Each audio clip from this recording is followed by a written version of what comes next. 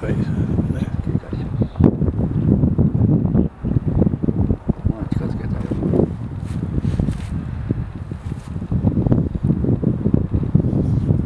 昨日ちょうどさあのああそこの溝っぽいとこ渡んのにな、うん、はい。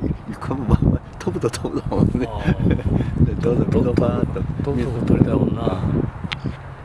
いや向こう池の方行って俺んかもう今日はあかんのかもと思った。ら、うん、こっち移動しとるって教えてもうて、うん。かった。いやなひみんな雲昼から曇ってばやろ。うん。だから午前中のはええね昼からも。う曇ってまうねああ当たり前だね日光も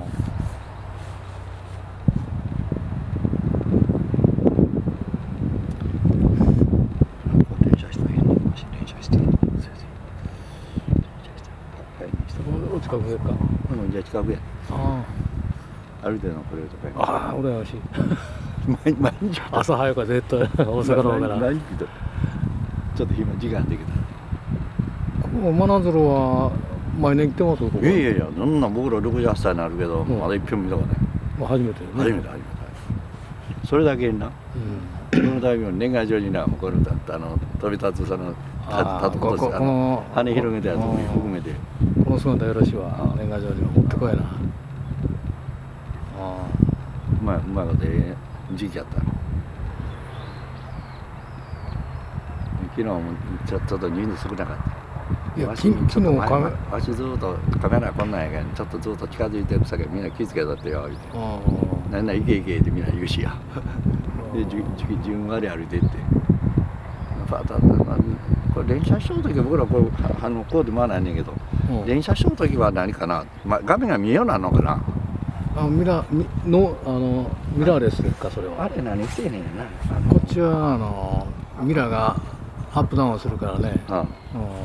ここはせんやろ思うねんけどな。ソニーのソニーの方に、あミラーレスか。もうな、ん、電車早いでしょそれ。そうそうそうそう秒間そうそう。10枚も20枚も動くんちゃう？そうそのミラーレスはね。勉強中やねん。だからねちょうどよかったよ。い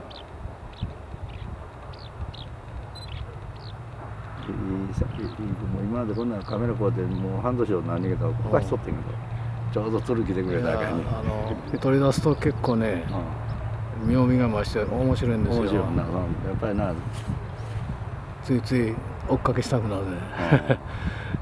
でその青空のとこなそのあの飛びをとパーッとこう浮かしたりずっとそっちやったやろ。だから気が全部入ってまうねんな青空にパーッと飛ぶ飛びかけたとこ撮りたいねんけちょっと飛ばしてもらえませんか？ど今のおっちゃんに近づきやな。今のおっちゃんに近づきや